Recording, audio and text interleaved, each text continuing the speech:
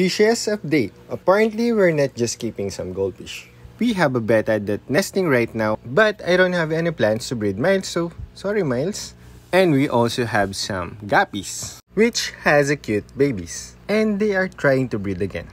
We also have some shrimps and some neon tetras. And for the breeder size and large size, they are doing great. And Mr. Teddy doesn't change at all. He is always hungry as well as Miss Cow. When will you breed again, guys? You are such a good girl. Shut up, you don't have food. And Mr. Gummy Bear still has a buoyancy problem. And Mr. Gummy Bear 2.0, which is this guy. Look at how cute this boy. You are such a cutie. And this female, looking so cute. Look at the crown. You are a queen. And for the small ranchu, they are doing great. They are growing. Look at this female black ranchu and Mr. Billy, which is a female. I misgender Mr. Billy, but look at this girl. You are such a beauty.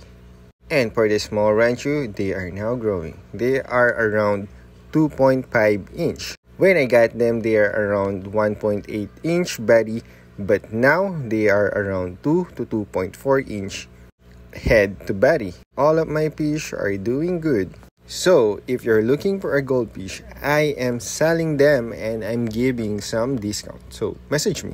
And for last, we already launched our first ever merch. So, if you want to buy one, go nice. to my profile. For the house update, we are moving really, really soon and I have a lot of free space that I can use for my breeding.